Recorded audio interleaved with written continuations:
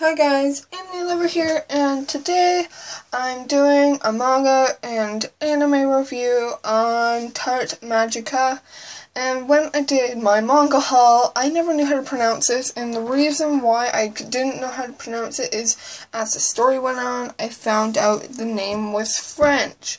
So, after um, reading and asking people that know French how to pronounce it, I know how to pronounce her name, and it's Jeanne d'Arc. So, I got that down at least. Um, so this series is a turn-off to Madoka Magica, so, um, this is before the main girls, like, um, like the main girls from Madoka Magica are even born, before they're even involved with, um, Kyubey. So, her name is Jeanette, but the legend of Jeanne d'Arc, I guess.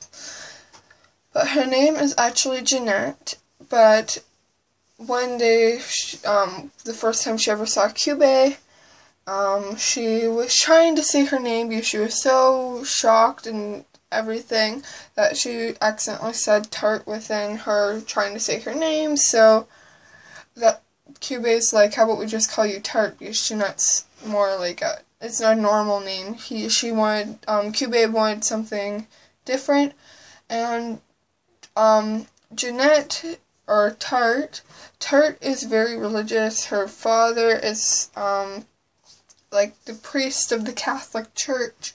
They're very religious, so they go and pray and they do all that religious um, activities. They do all the religious activities.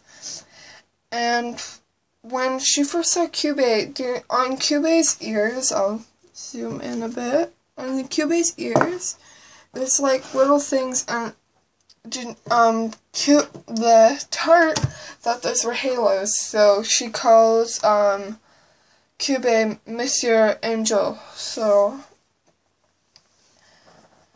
and within the story, a lot happens, um, she loses her, one of her close family members, I'm not going to say who that is at the moment, which causes her to become a magical girl, and this is based in, like, the French Revolution, and what her like her wish was that she wants to be a big empowerment to the French Revolution. She wants to fight England and make it go onto the French's side.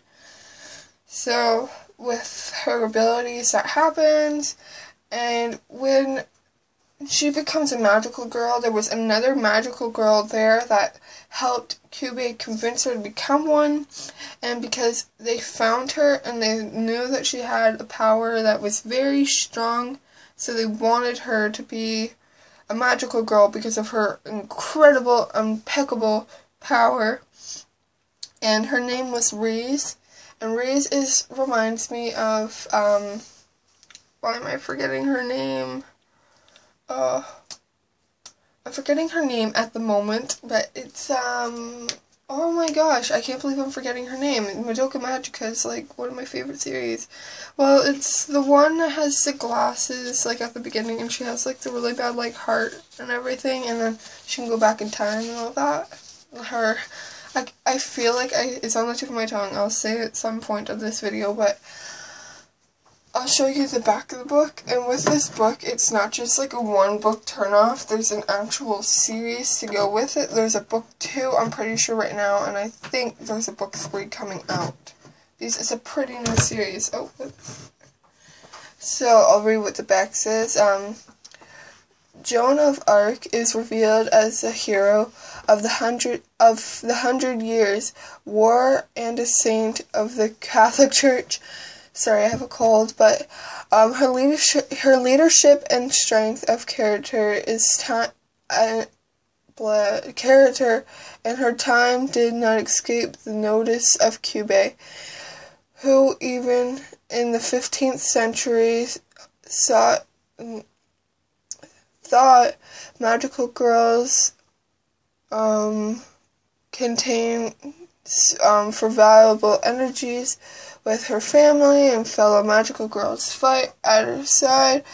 Um, Joan fights in the English um, opportunities of the French, but will soon to find herself fighting something much more sinister.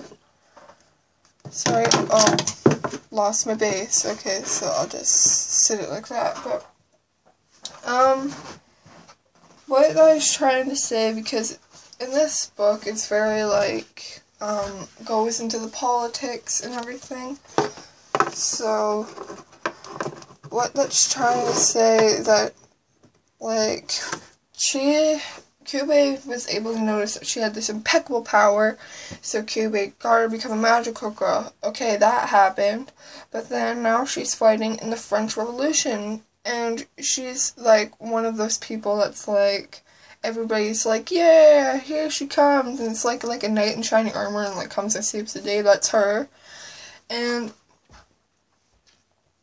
when it says she's gonna fight something more sinister, there is still witches. So she's in the French Revolution fighting, and then she's out fighting witches.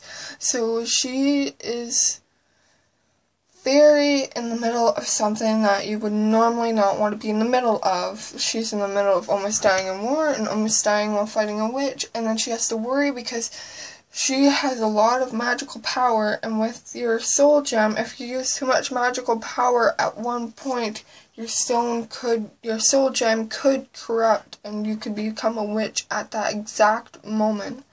So with her, she has to watch her magical power that she uses when she fights, but she has so much power that it's hard to do that. So, um, that's the end of this manga and anime review. I right now at the moment there is no OVA for this. Um, so if you enjoyed this review, give this video a thumbs up. Don't forget to subscribe because there is more to come. My next review I'll be doing is on Noragami Stray Stories. That is another turn off of uh, anime. And so far, what I've read, it's pretty good. So don't forget to buy this book if you like it, if you like what you've heard about it. It's very good, very good, well done. Same um, artist and creator as Madoka Magica, so if you're still like e uneasy about it, it is the same creator, so it's not going to wreck the actual story. Um, I hope you enjoyed, like, comment, subscribe, and bye guys.